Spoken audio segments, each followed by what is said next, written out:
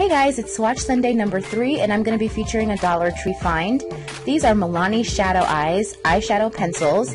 They're available in a couple different finishes. They have metallic, pearl, and matte. I of course love the mattes, but these are really versatile because you can use them as liners, you can use them as shadow bases or just shadows. And you can also use some of these shades as very long lasting lipsticks.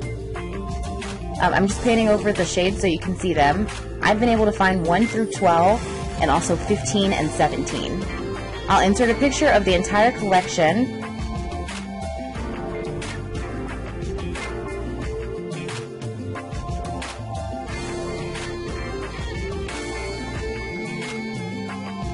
Apologies for my nails, I was in the middle of removing last week's manicure.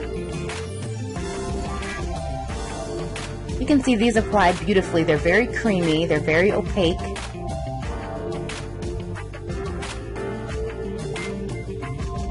Think the only major con that I have is that they're not retractable. But other than that, I've been very happy with the formula. It doesn't do a lot of pulling. They do roll around a little bit. That one's a great lipstick shade for my complexion.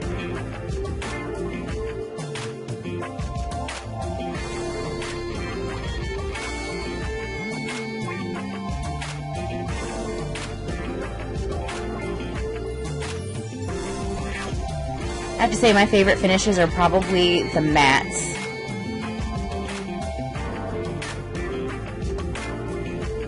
So here's a look at all of them and I'll do a close-up.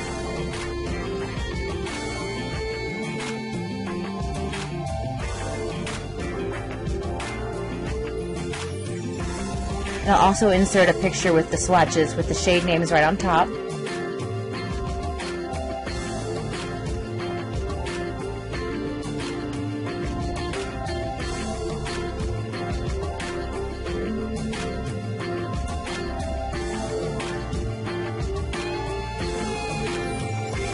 And if you're interested in the staying power, just take a look here. I'm swiping at these, and they are not budging.